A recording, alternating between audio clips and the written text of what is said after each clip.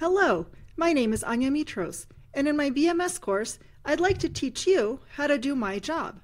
The world needs more engineers who can do battery management well. In the next four slides, I'll lay out why I'm teaching this course and why it might be of interest to you, the prerequisites, or what you should know to understand my lectures, the scope, or the material that I'll cover, and a little bit about my background. The balance of nature is integral to fresh water and clean air. As a mom, I want my children and their children to grow up with safe drinking water, predictable weather, and natural beauty. And, I fear, some of that is in peril.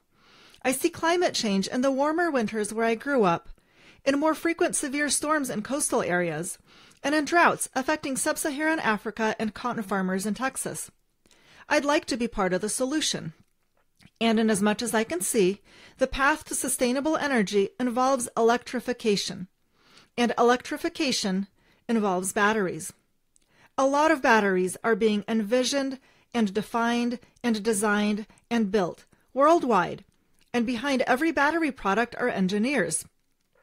The transition to sustainable energy will be smoother if each of these engineers understands how to design for safety, long product lifetime, and predictable behavior, all necessary for a good customer experience. I'd like to give some of those engineers a head start by teaching what I've learned in my 16 years in the industry. I offer this course as my contribution to the path to sustainability. I'd like this course to be accessible to undergraduate students and worthwhile to any electrical engineer who isn't already deeply experienced with batteries. In designing my lectures, I've assumed an understanding of some basic electrical engineering concepts. V equals IR, I equals C dV dt, and the RC time constant. The first one relates voltage to current and resistance. Sometimes in the course I will say impedance. Impedance is a more general term than resistance, and understanding the difference between resistance and impedance is not required for this course. However, if you don't understand that current flow across some resistance causes a voltage drop, colloquially referred to as an IR drop, learn about Ohm's law before diving into my course. I equals C dV dt describes behavior in time. In later lectures, we will refer to the related concepts of RC time constant and corner frequency. If you don't feel fluent with RC time constants and corner frequencies, the lecture on noise may be gibberish to you.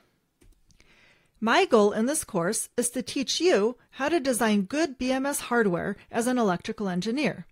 We'll lightly touch firmware and mechanical design, but neither of those is the focus.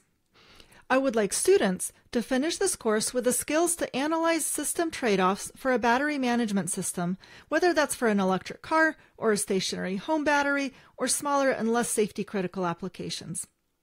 Let's list the topics that I aim to cover. The introductory lecture focuses on batteries, a prerequisite to managing them. Then we'll discuss BMS functions. We must understand what the BMS does before optimizing the design.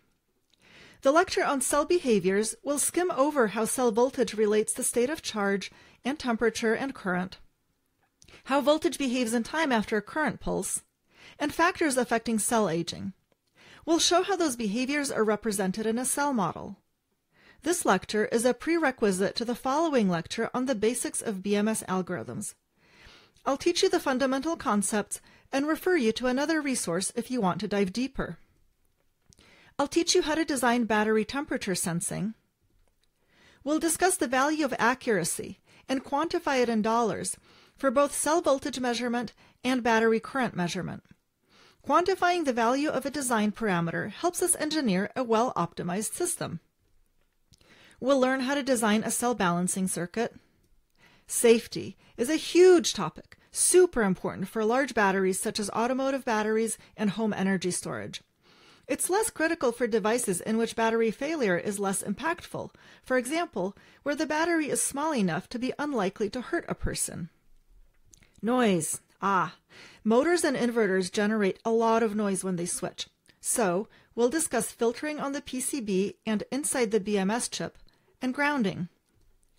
For high voltage batteries, Often, multiple cell voltage sensing chips are daisy chained, and we'll look at what the market presently offers.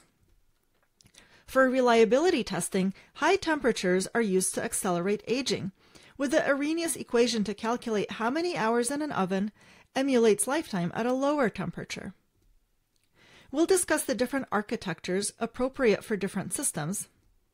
Then we'll do just a fun lecture looking inside chips.